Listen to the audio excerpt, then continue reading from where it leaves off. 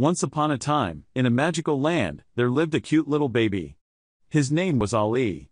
One day, Ali's grandmother sat beside him and began to tell him a wonderful story in Urdu. Beta, do you know there was a beautiful garden filled with colorful flowers and talking animals? Ali's eyes widened with excitement. As his grandmother continued, Ali's imagination soared. He imagined himself walking through the garden, talking to the birds and butterflies. He could almost feel the soft petals of the flowers against his tiny fingers. The story took them on a delightful journey, where Ali encountered a mischievous little rabbit who loved to play hide and seek. With a smile on his face, Ali's grandmother described how the rabbit would hop from one bush to another, enticing Ali to join in the fun. As the story unfolded, Ali met a wise old owl who taught him about the different colors of the leaves and the sounds they make when the wind blows.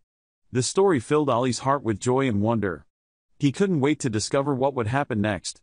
With every word, his grandmother's soothing voice painted a vivid picture in Ali's mind, and he felt like he was a part of this enchanting adventure. Finally, as the sunshine started to fade, Ali's grandmother ended the story.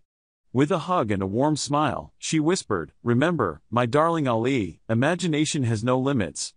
And as Ali drifted off to sleep, he dreamt of his own magical garden, where he danced with the flowers and whispered secrets to the animals. Thanks for watching our Urdu baby story. We hope you enjoyed this delightful journey of imagination. Don't forget to subscribe to our channel for more amazing stories for your little ones.